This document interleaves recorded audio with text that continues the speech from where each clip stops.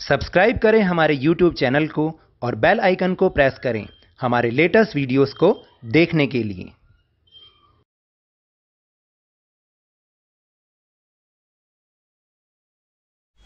Hello and welcome to Lavneesh sir की class आज की ये शिक्षा निदेशालय राष्ट्रीय राजधानी क्षेत्र दिल्ली की वर्कशीट वर्कशीट नंबर दो, जो कि कक्षा आठवीं के विद्यार्थियों के लिए है।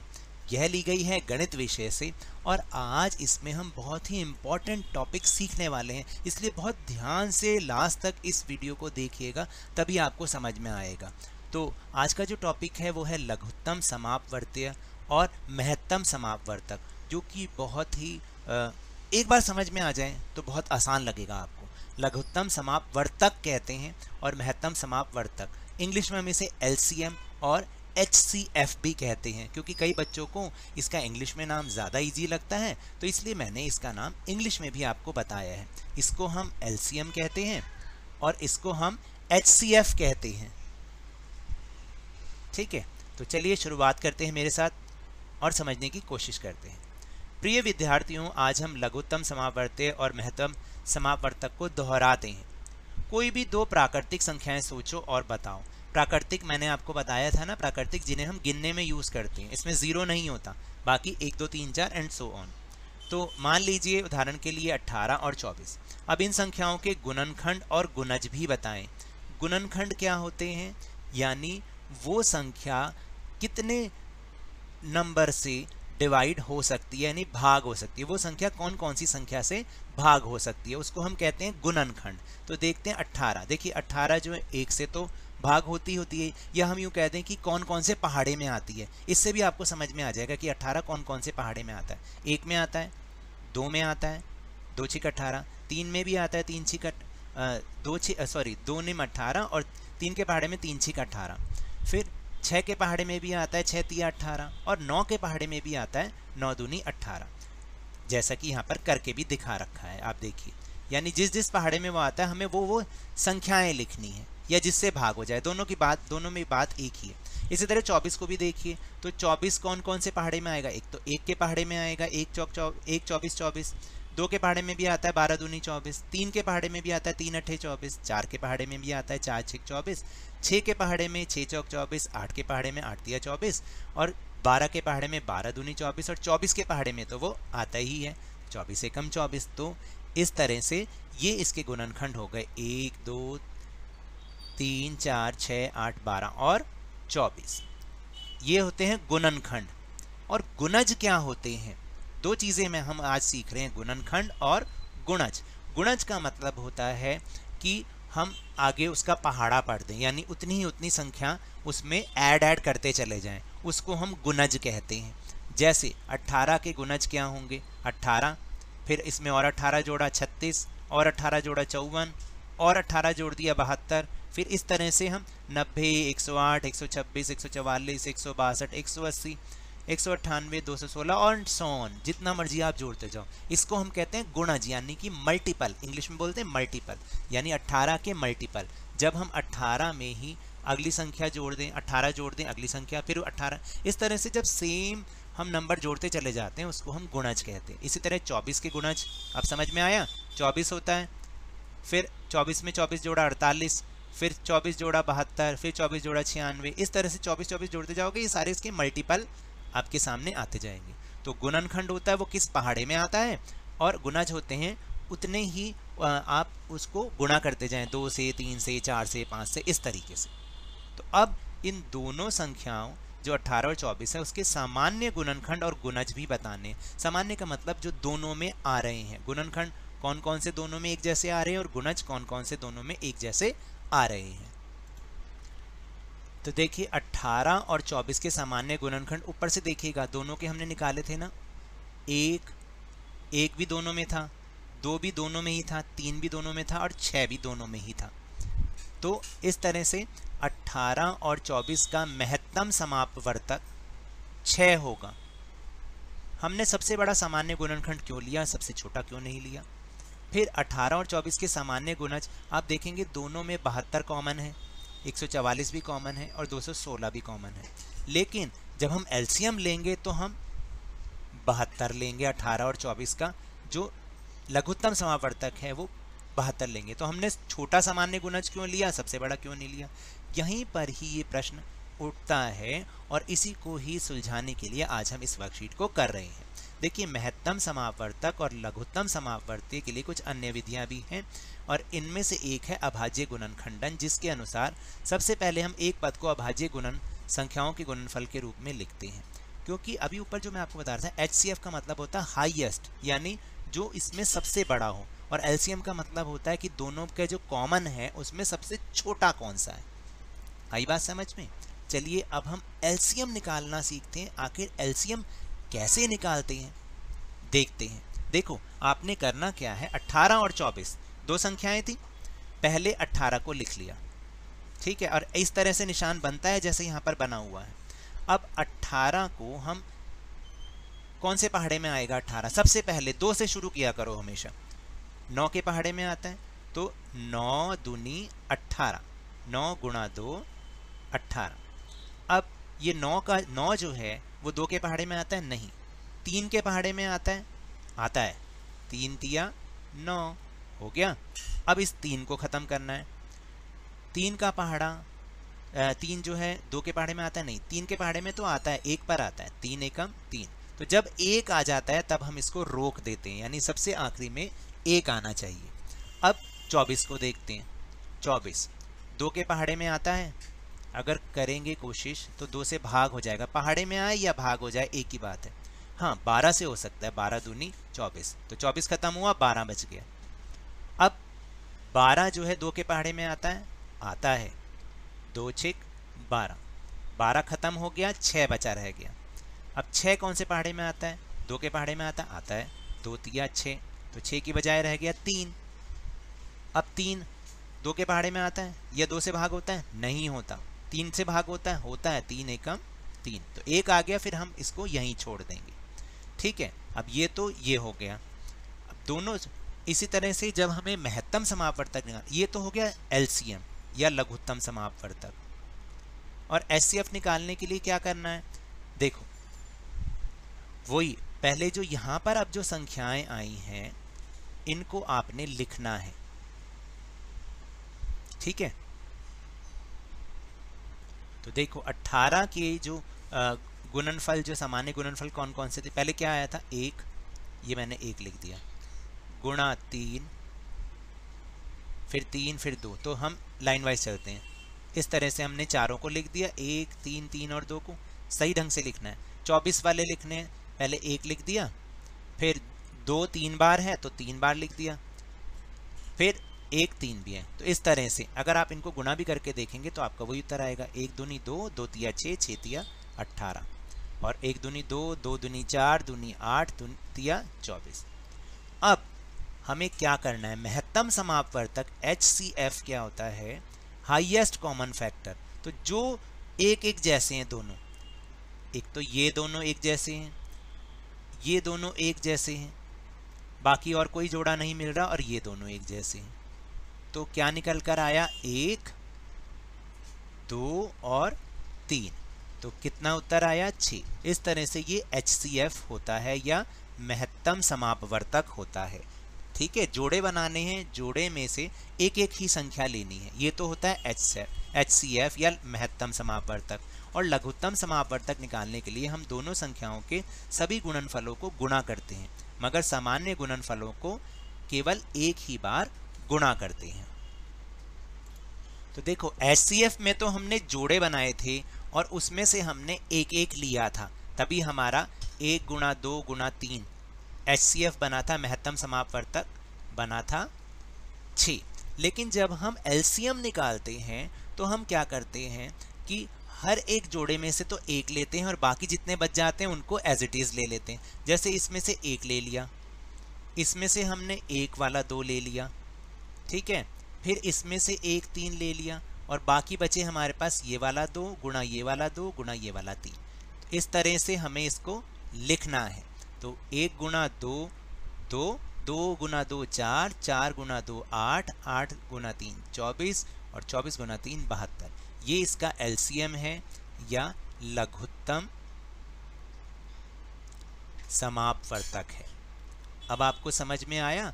अब हम बहुत जल्दी से इसके क्वेश्चन आंसर समझने की कोशिश करेंगे। तो देखिए, आओ कुछ प्रश्न करें। अब ध्यान से देखिएगा, जैसे कि सबसे पहले प्रश्न है, निम्नलिखित संख्याओं के गुणनखंड बताएँ। नौ, तेरह, सोलह, बाईस और पचास। इसके हमें गुणनखंड बताने हैं। तो इसके हमें गुणनखंड बताने हैं, जैसा कि हमने वीडियो के सबसे पहले पार्ट में सीखा था। नौ के गुणनखंड, यानी नौ किन किन संख्याओं से भाग होता है, या किस पहाड़े में आता है, दोनों बात एक ही है। देखिए, एक के पहाड़े में आता है, दो के पहाड़े में आता है, नहीं। तीन के पहाड़े में आता है, तीन तिया नौ। ठीक है, फिर चार चार के पहाड़े में नहीं आता, पाँच में नहीं आता छः में नहीं आता, सात में नहीं आता, आठ में नहीं आता, सीधा आता है नौ के पहाड़े में। ठीक है तो ये हो गए इसके गुणनखंड, फिर तेरह के गुणनखंड। एक के पहाड़े में तेरह आता है, क्योंकि हर संख्या एक से तो भाग ज़रूर होती है और फिर वो तेरह से ही होता है तेरह के पहाड़े में ही तेरह आता है बाकी किसी पहाड़े में नहीं आता इसके बाद है सोलह सोलह एक के पहाड़े में हमेशा एक तो ज़रूर आएगा फिर दो के पहाड़े में आता है दो अट्ठे सोलह फिर तीन के पहाड़े में नहीं आता चार के पहाड़े में आता है चार चौक सोलह पाँच के पहाड़े में नहीं आता छः के पहाड़े में नहीं आता सात में नहीं आता आठ के पहाड़े में आठ दूनी सोलह आता है और फिर सीधा वो सोलह के पहाड़े में ही आता है तो इस तरीके से ये हो गया एक दो चार आठ और सोलह। ये इसके गुणनखंड हैं।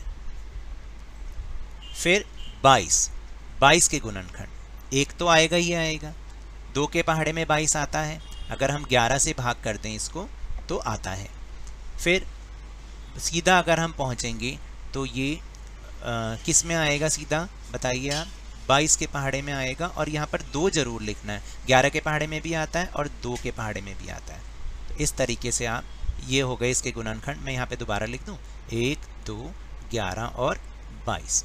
और सबसे आखिरी में है पचास। तो एक के पहाड़े में आता है। दो से भी भाग हो जाता है। ठीक है? पच्चीस दूनी पचास होता है। फिर पाँच से होता है। पाँच धाम पचास। फिर सीधा आ जाएँगे। पच्चीस से होता है। पच्चीस दूनी पचास। और पचास से तो होता ही है। ये इनके सबके गुणनखंड हैं। आपको इस तरीके से लिखने हैं। अब दूसरा प्रश्न। निम्नलिखित संख्याओं के पहले बारह गुणज बताएँ, यानी कि सात को आप बारह तक गुणा करते चले जाएँगे। ग्यारह को गुणा करते चले जाएँगे, उन्नीस को गुणा करते चले जाएँगे, इक्कीस को गुणा करेंगे, बारह बार, और पच्चीस को। इस तरह से आपके ये जो है गुणज आ जाएँगे। अब आपको क्या करना है? सात, ग्यारह, उन्नीस, इक्कीस और पच्चीस के गुणज बताने यानी कि और कौन से?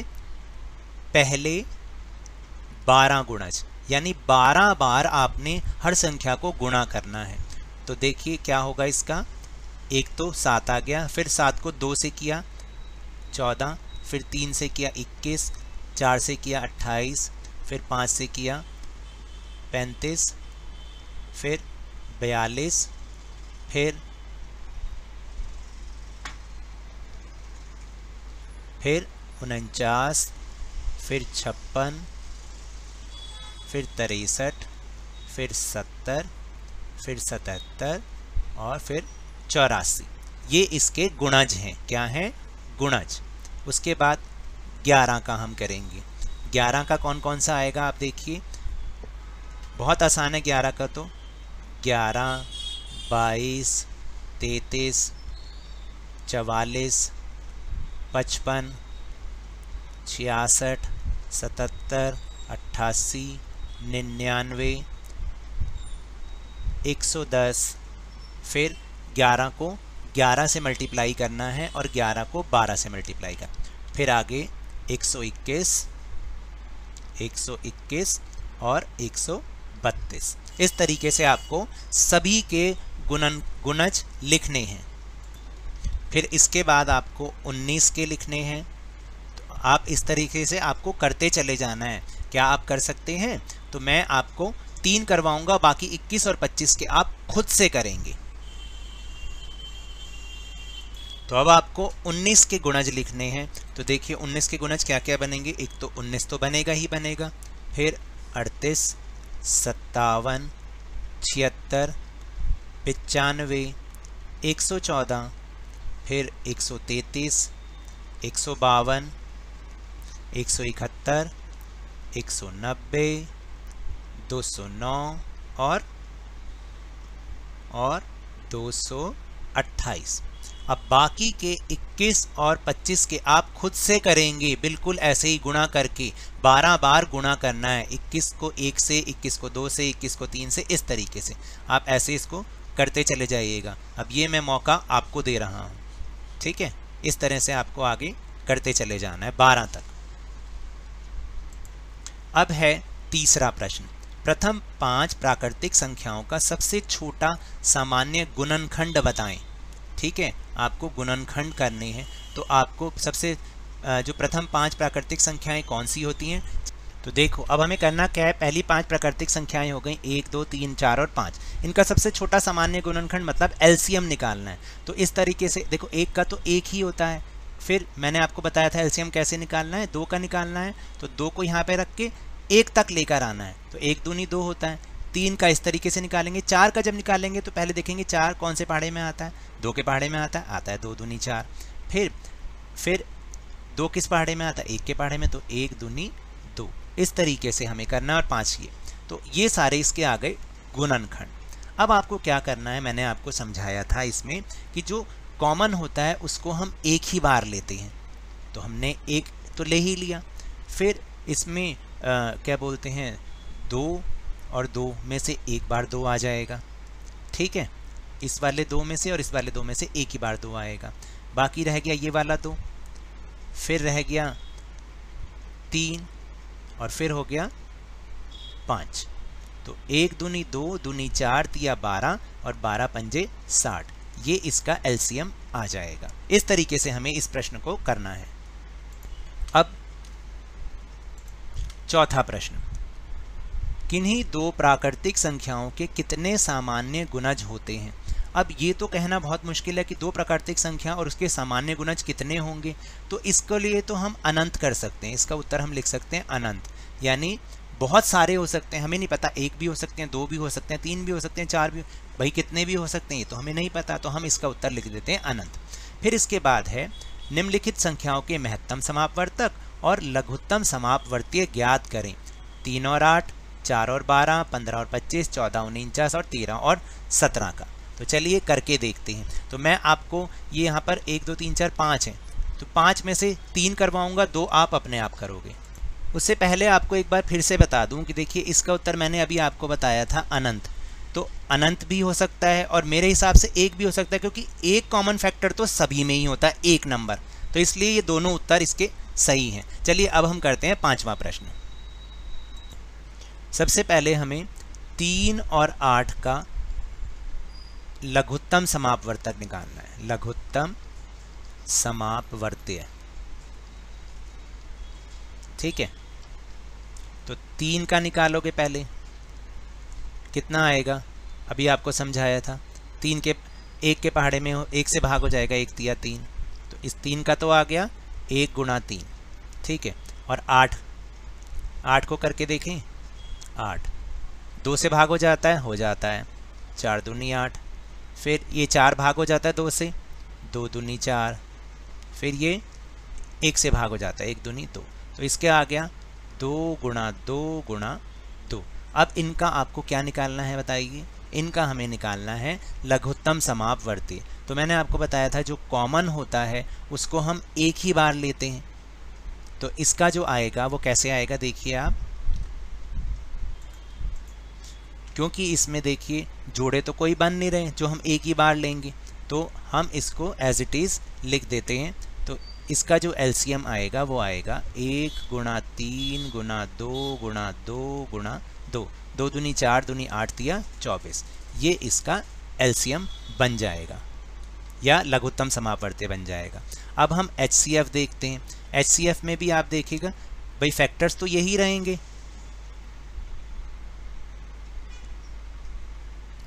एक गुणा तीन और आठ का हो जाएगा।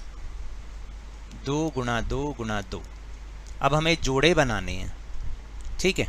और एक।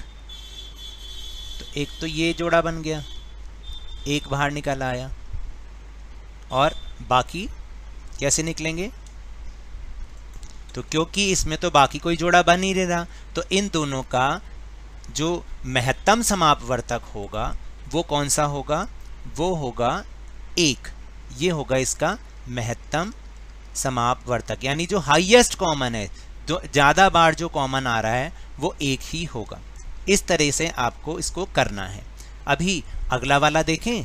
अगला वाला है चार और बारह का लघुत्तम समापवर्तक। लघुत्तम समाप वर्त्य राइटिंग थोड़ी सी ख़राब है, लेकिन शायद आपको समझ आ जाएगी। तो पहले आप यहाँ पर चार का करें। दो से भाग हो जाता है, हो जाता है। दो दूनी चार। फिर ये एक से भाग हो जाएगा, क्योंकि एक तक लाना होता है हमें। इसी तरह हम बारह को देखेंगे। तो बारह दो के पहाड़े में आता है आता है। दो छिक बारह। फिर ये भी दो से भाग हो जाएगा। फिर ये दो से तो नहीं होगा, तीन से होगा। इस तरह से देखिए कॉमन फैक्टर्स क्या आए।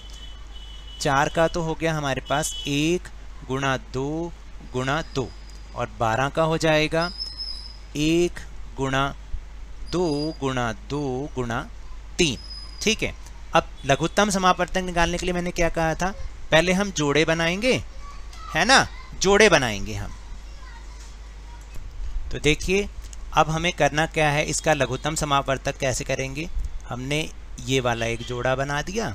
इसमें से एक ले लेते हैं, इसमें से एक ले लेते हैं और बाकी जो बचे हैं उनको और इसमें से एक। बाकी जो बचे उनको एज इट इज़ लेंगे। तो एक आ गया, दो आ गया, इसमें से एक दो आ गया और इसमें से तीन। तो ये हो गया एक दुनी दो दुनी चार तिया बारह। ये इसका लघुत्तम समापवर्तक है। महत्तम समापवर्तक निकालने के लिए फिर दोबारा से आप लिखोगे एक गुणा दो गुणा दो और बारह का था एक गुणा सॉरी गुणा का निशान आएगा दो गुणा दो गुणा तीन। अब इसका जोड़ा बना, इसका जोड़ा बना और इसका जोड़ा बना। जिसका जोड़ा नहीं बना, उसको हम नहीं लेंगे। तो इसका जो आएगा उत्तर वो आएगा एक गुणा दो, एक एक बार लेना है। जो रह गया उसको हमें नहीं लेना। तो इसका आया चार। तो महत्तम समापवर्तक इन दोनों का क्या हो गया? यह मैं लिख दूँ, महत्तम समापवर्तक। ऐसे आपको इसको करना है। एक और करवाऊँगा, बाकी आप अपने आप करेंगे। इसके बाद है पंद्रह और पच्चीस। दो संख्याएँ हैं, पंद्रह और पच्चीस। इसका आपको क्या करना है पहले? लघुत्तम समापवर्तक निकालना है। लघुत्तम समाप वर्त्य समाप वर्त्य ठीक है? तो वही आप क्या करेंगे? पहले पंद्रह का एल्सियम निकालेंगे। एक से होता है भाग? होता है। लेकिन दो से शुरू करते हैं हम हमेशा। दो से नहीं होता, तीन से हो जाता है। तीन पंजे पंद्रह। फिर एक दिया, तीन। तो बस आगे करने की ज़रूरत नहीं है। तो पंद्रह का तो आ गया हमारे पास एक गुणा तीन गुणा पाँच। पच्चीस का करके देखते हैं।